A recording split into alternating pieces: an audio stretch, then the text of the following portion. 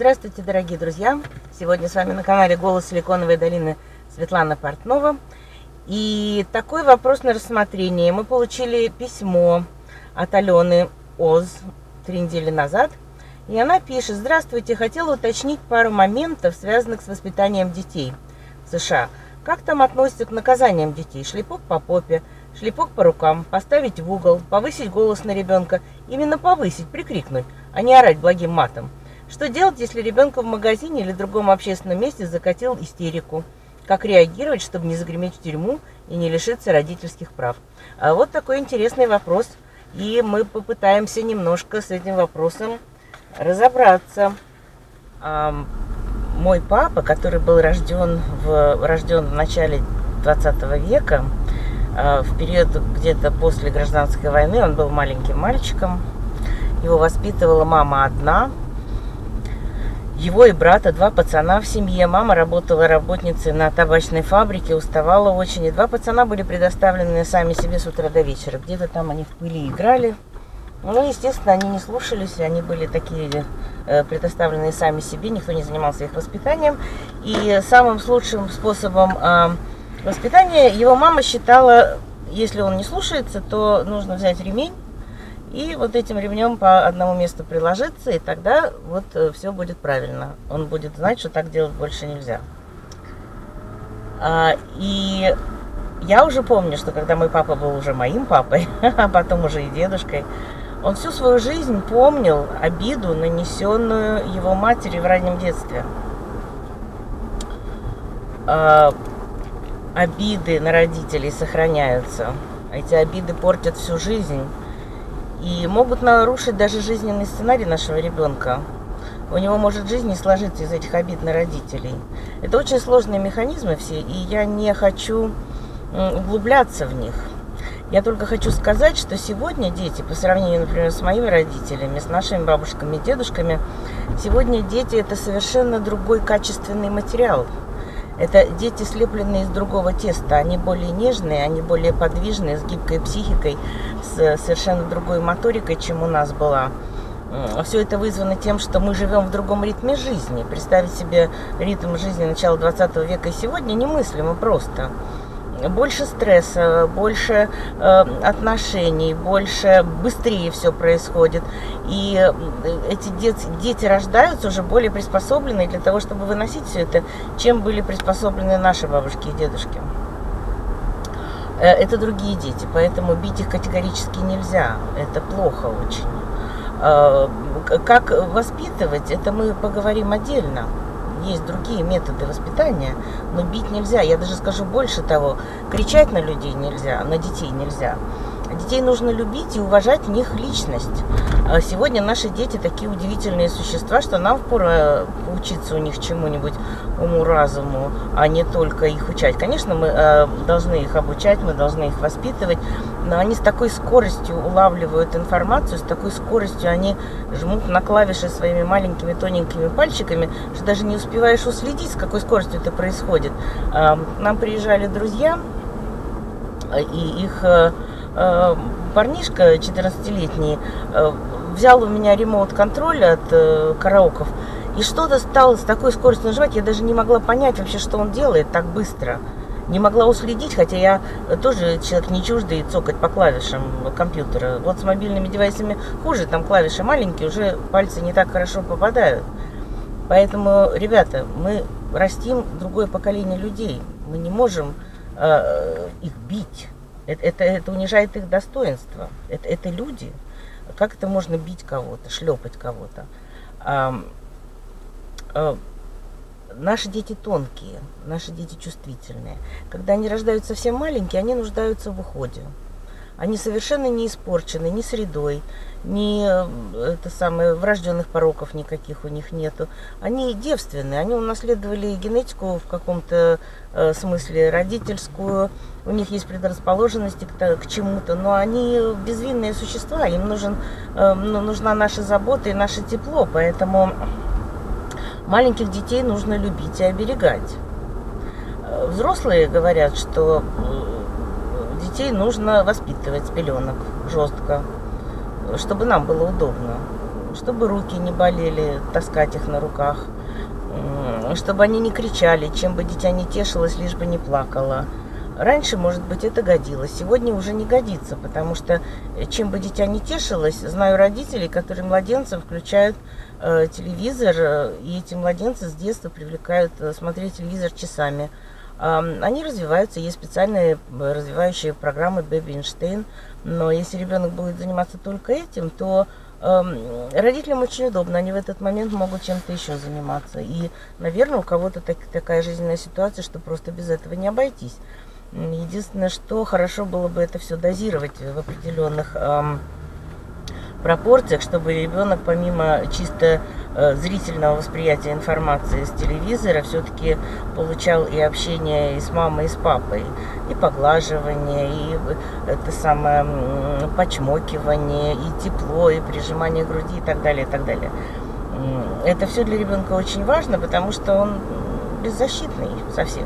Когда ребеночек наш становится немножко старше, он начинает проявлять характер свой. И проявляет его тоже весьма интересным образом. Ребенок плачет, когда ему что-то плохо. И когда он еще не искушен в этой жизни, а, это плохо носит вполне естественный характер. Ему плохо, когда он голодный, ему плохо, когда он устал, Э, от этого он начинает капризничать. Мы же начинаем его ругать и прикрикивать на него, чтобы он не капризничал. Но ему плохо. Ну вот как, вот если вам плохо, а вам вместо того, чтобы э, пожалеть вас, э, начнут на вас прикрикивать. Ты чего тут, мол, расныхался? Нечего, давай, мол, давай. Но вы взрослые люди, они маленькие дети, поэтому нужно понимать это и понимать, что ребенок не просто так плачет, а что у него есть причина какая-то, по, какой, по которой он плачет. И поняв, поняв эту причину, может быть, ее можно ликвидировать, он не будет плакать. А когда я была маленькая, а, я помню, мне было лет 5 или 6. И я пошла во двор играть с подружками. Ну, что-то там мы бегали, бегали, бегали. Я э, упала и разбила обе коленки. Мне было ужасно грустно. Э, вот, я пришла вся зареванная, в слезах. Мне помазали зеленком эти коленки, все щипало ужасно. И папа мне сказал, ты не ходи домой, уже больше гулять, э, уже побудь дома. Ну, мне так хотелось к девочкам на улицу гулять. Я сказала, что я пойду погуляю. Я пошла гулять, и так получилось. Я снова упала на эти же разбитые коленки, что мне стало еще больнее, еще грузнее. И я пришла домой, и тут папа на меня накричал. Очень зло накричал. Я же тебе говорил, не ходи. Э, он накричал не потому, что он меня не любил. Он меня очень любил, но ему было обидно, что я его не послушала. Это его амбиции. Ему было обидно, что я его не послушала. И вместо того, чтобы меня несчастную пожалеть, у которой разбиты коленки, которые болят в два раза сильнее, он на меня же еще и накричал. Э, когда мы кричим на ребенка, когда мы повышаем на него голос, это выражение нашей несостоятельности, это выражение нашей досады, что нам не удалось эм, ребенку что-то доказать. Мы э, срываем свои как бы свои неудовлетворительные состояния на ребенке, и это нехорошо. Это нехорошо. В этот момент ребенок сам нуждается в том, чтобы его пожалели. Когда ребенок начинает вредничать, вот это очень интересный есть аспект. У нас были приятели одни, у них ребеночек рос, как трава в поле. Целый день сидел, смотрел телевизор, э, что-то там такое усваивал. У него были феноменальные способности. Он прямо целыми кусками фразы выхватывал из телевизора и говорил, как диктор э, американского телевидения.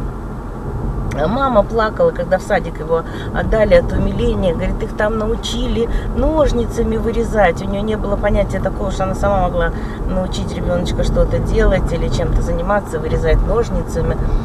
Она говорит, вот его научили, там, как славно с ним там занимаются. Видно, ее родители тоже не приучили, что с ребенком все-таки нужно время какое-то проводить, что он не может целый день телевизор только смотреть. Да, так вот этот мальчик в, в силу недостатка родительского внимания, ему очень хотелось, он маленький был, тоже ему было лет 5 или 6, он был большим пакостником. Стоило друзьям к нам в гости прийти, и все садились там, начинали вести свои взрослые разговоры, ему было скучно.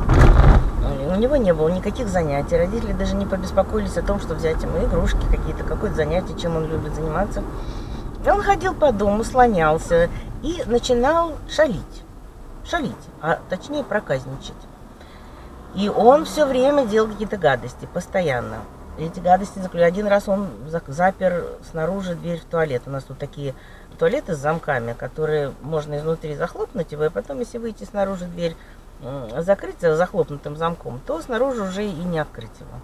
И мы полвечера занимались тем, что открывали эту дверь. В общем, ребенок был несносный совершенно. И когда уже наши друзья уходили, мы с Мишей, с Михаилом обсуждали, насколько родители неправы, что ему, этому ребенку несчастному, нужно внимание. Внимание нужно ему. Он мается бездельем и от этого пакостит, чтобы привлечь к себе внимание. Как только ему дадут это внимание, он перестанет пакостить и будет самым ангельским ребенком на свете. Ну, конечно, мы занятые люди, у нас дел полно. Нам нужно первое, второе, третье, четвертое, в особенности, если нет бабушек, если нет бабиситеров, если нужно бежать на работу, они, если есть другие дети и так далее, и так далее, мы заняты.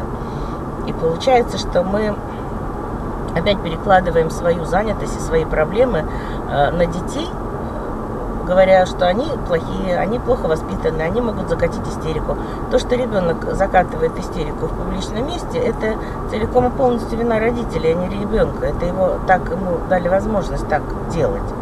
А, в Америке, кстати, когда мы приехали 25 лет тому назад, а, мы обратили внимание, что в магазинах кричат только русские дети. Американские дети в магазинах не кричат. Сегодня кричат индусские дети тоже вместе с русскими. Китайцы, даже китайцы нет, китайцы не кричат. А вот э, американцы не кричат вообще. И когда ребенок, например, тянется вот возле кассы, обычно висят, висят такие привлекательные жвачки, там какие-то штучки, такие очень привлекательные для маленьких детских ручонок. Когда ребеночек сидит вот в этой коляске покупочной, и тянется ручонками к ярким этикеткам. Американская мама говорит, сынок, пожалуйста, не делай этого для меня. Она не повышает голос, она не раздражается. Она говорит совершенно спокойно, пожалуйста, не делай этого для меня. И его ручонку ласково забирает. И судя по тому, что малыш ее точно так же забирает ручонку и не начинают уже биться в истерике, очевидно, это у них какая-то практика. И они умеют это воспитывать с самых первых дней рождения ребенка. Это все воспитывается по крупицам, по маленьким крупичкам. Но кричать на ребенка нельзя, бить ребенка нельзя. Его нужно любить, с ним нужно разговаривать и пытаться понять, что же ребенку нужно такого, почему он себя ведет не так, как нам бы хотелось. От нас это требует, конечно, больше усилий и больше нервов, когда человек сам на работе вздрюченный, он более настроен воинственно, ему не до того, чтобы в эти слюни сопли вникать. Что там, давай, собрался, пошел. Когда ты, сколько ты будешь копаться еще, давай собирайся быстрее. Но в целом, если мы настроимся на волну нашего ребенка, который у нас любимый, долгожданный, нежный, трепетный, будущий гений, то мы поймем, что это все важнее по сравнению с тем, чтобы на него накричать, или тем более шлепать, или бить по рукам. Этого делать нельзя. Все дети разные. И одним для того, чтобы, э, когда мы начинаем детей приобщать к чему-то полезному, да, начинаем с ними проводить больше времени.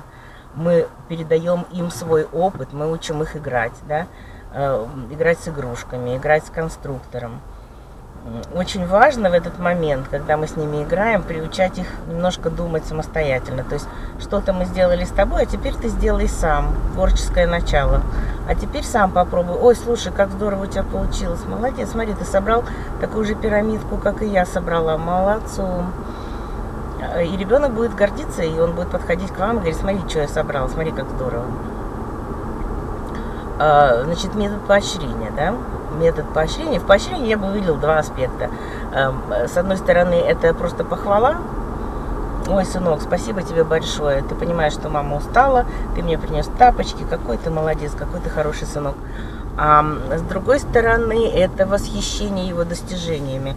И ни в коем случае нельзя этого умолять. Эм, и в советской школе, и в советских садах детей практически не хвалили, не хвалили. Считалось, что хвалить ребенка – это формировать в нем нехорошие черты, тогда он будет зазнаваться, он будет нескромным и так далее, и так далее.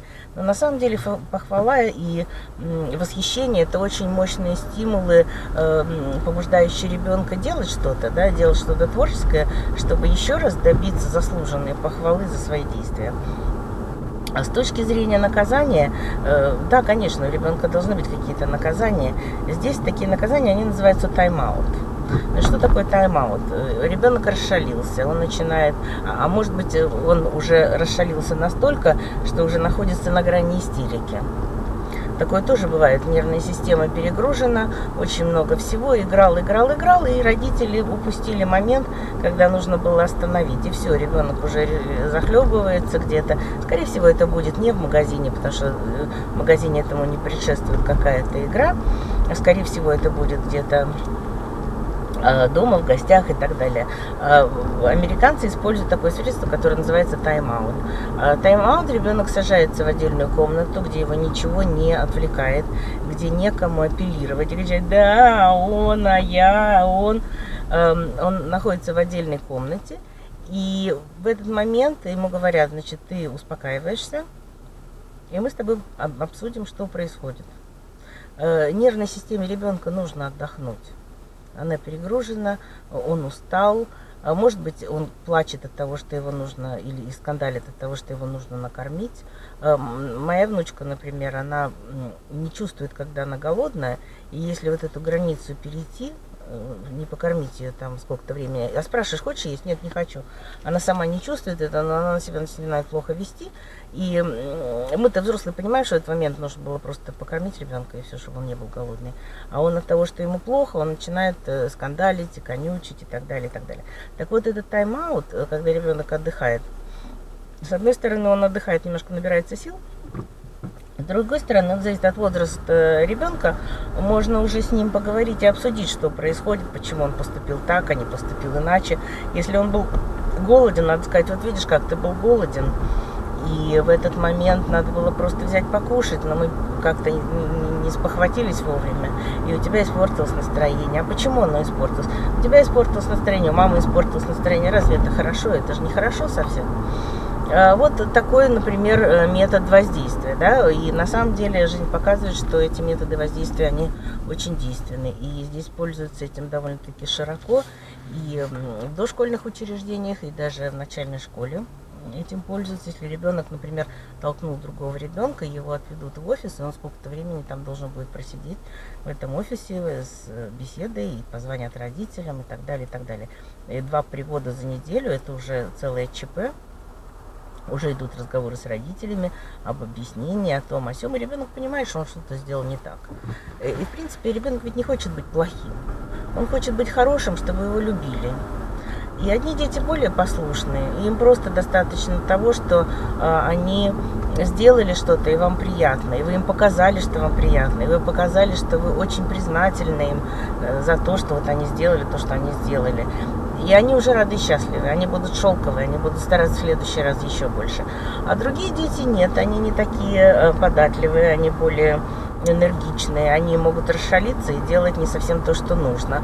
И их нужно немножко корректировать и направлять э, в нужное русло.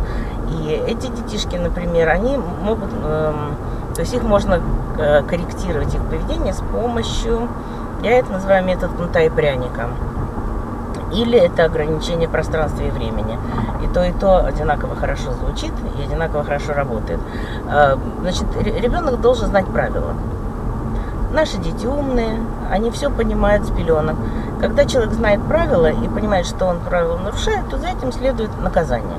Какое это может быть наказание? Значит, если ты не сделаешь домашнее задание, то сегодняшние там мультики ты смотреть не будешь. И это должно быть непреложно. Не может мама разрешить смотреть мультики, а папа запретить или наоборот. В семье должно быть единогласие, и оба родителя в этом смысле должны быть единонужны. Э, если ребенок требует чего-то, опять же, и вы отказываете ему в этом э, по каким-то своим соображениям, то, опять же, это решение должно быть э, обоюдное, и оба родителя должны придерживаться одной и той же точки зрения. Значит, кнута и пряника. Вот молодец, смотри, ты сегодня прочел лишнюю главу из книжки, да? За это там мы с тобой вместе пойдем и съедим там, не знаю, в ресторане мороженое, например.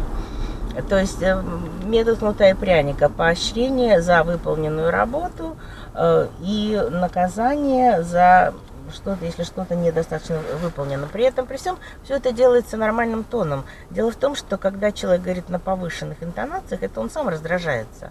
А когда он сам раздражается, то это раздражение переносится на ребенка.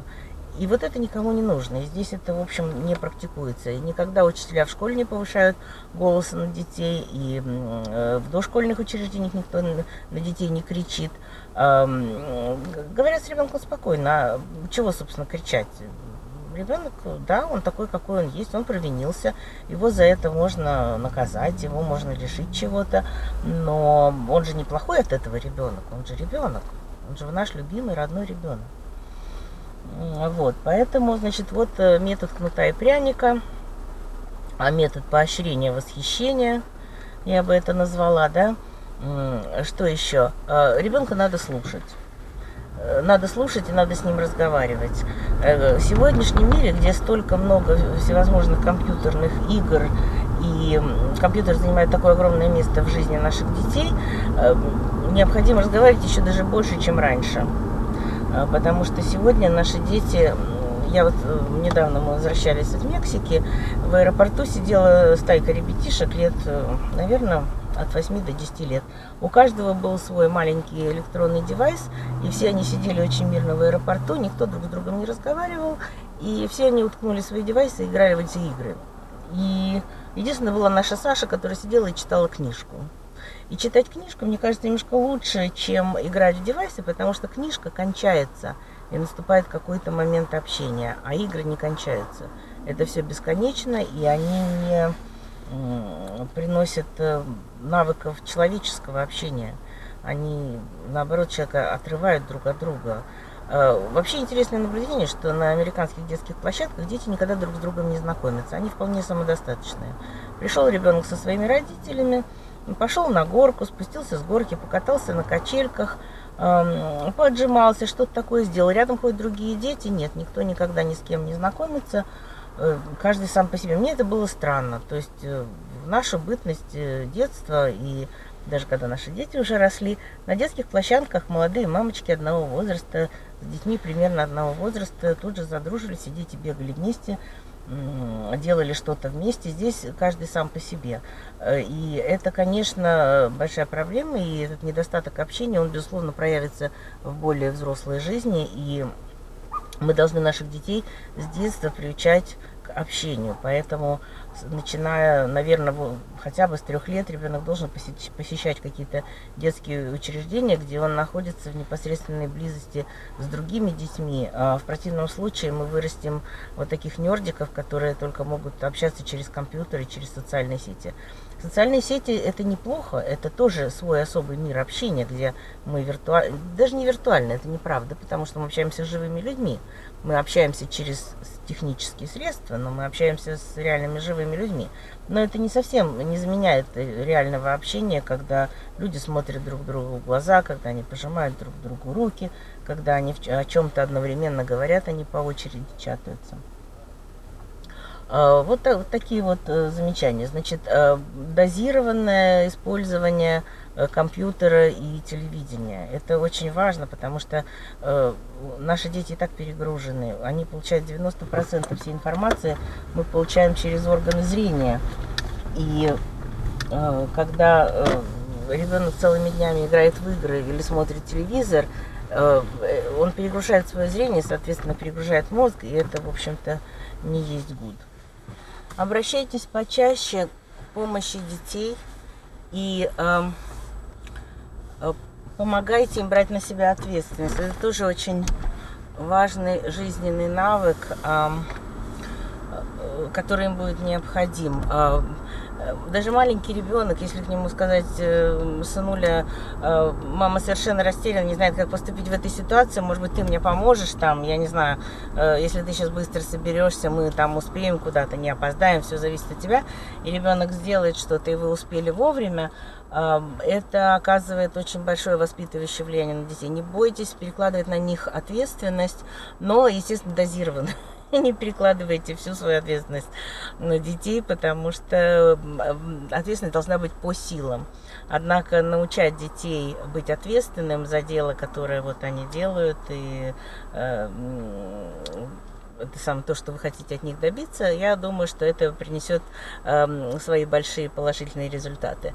Э, учите детей творчески подходить к чему-то. Маленькие дети, к сожалению, когда мы учим их э, э, играть в какие-то игры, а, они сами себя не знают, чем занять. То есть, если ребенок привык, что а, ему скучно, и ему дают новую игрушку, начинает с ней играть, а потом другую новую игрушку начинает играть, э, ребенок любознателен, то он э, привыкает, что как только ему скучно, ему что-то новенькое пихают, и он этим занимается. Очень важно научить ребенка самого находить себе э, какие-то игры, занятия для этого очень важно с ним э, проговаривать это все и э, научить его находить интерес в тех играх, которыми он занимается.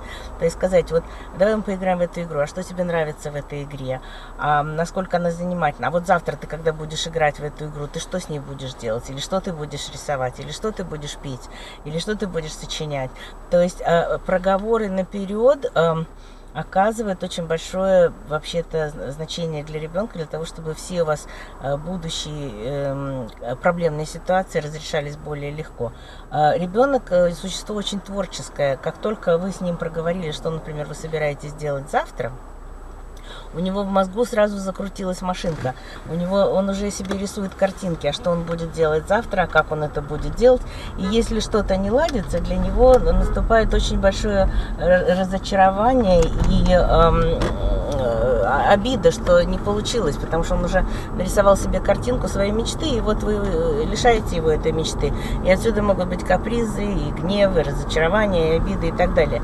Поэтому с ребенком важно договориться заранее. Если завтра, например, он должен пойти, например, там, я не знаю, к бабушке вместо того, чтобы пойти в детский сад, то нужно с ним проговорить, что завтра ты пойдешь к бабушке, ты будешь там делать то-то, то-то, ты будешь это делать так-то, так-то, а вечером ты придешь, ты нарисуешь у бабушки картинку, вечером ты придешь, ты мне ее покажешь, и мы с тобой вместе обсудим, что ты нарисовал. И ребенок идет полной надежды и ожиданий уже э, завтра к бабушке, вместо того, чтобы идти там, не знаю, в сад или еще куда-то, и он уже полон творческих планов. Он уже сам знает, чем он будет заниматься. Детей нужно учить, планировать свое время, находить себе занятия. Потому что сегодня, кроме того, чтобы сидеть играть в компьютерные игры, которые предлагают детям развлечения, сами они, к сожалению, себе занятия найти не могут. Э, и это самое, и это очень, очень нехорошо. Э, дети разные все, это нужно понимать. Два ребенка в одной семье не бывают одинаковые. Э, я хочу на самом деле сделать запись, мне кажется, очень будет интересно родителям. У нас есть профессионалы здесь, музыканты, и я хочу записать о влиянии вот, воспитывающей музыки на детей. Э, вот у меня сейчас родилась внучка, она с удовольствием слушает музыку, она просто вся в этой музыке, она сразу замолкает, она начинает слушаться, прислушиваться. Очень хорошо детям ставить музыку в приглушенных тонах, типа фоновой музыки. Э, уже есть готовые аудио записи. Это называется Baby Einstein, и они есть на YouTube в неограниченном доступе.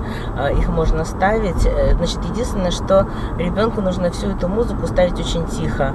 Это должна быть не музыка, которую слушаешь на полную катушку, и потом нужно перекрикивать э, эту музыку, если что-то нужно сказать. Это должна быть фоновая музыка, под которую ребенок будет спать.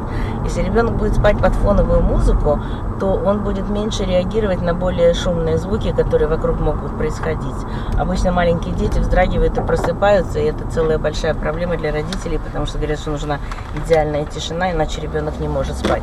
И фоновая музыка может быть прекрасным дополнением для этого. Бэби Эйнштейн это просто, там есть специально для спящих детей, для бодрствующих детей и так далее и тому подобное. Ну, вкратце, голубом по Европам мы прошлись э, на минуточку по проблемам воспитания. Я думаю, что э, проблем немерено осталось еще. Будем разруливать их по ходу. А так я уже приехала вот в школу, но смотрю, что паркинг это здесь и нет совсем. Вот, вот тут есть паркинг.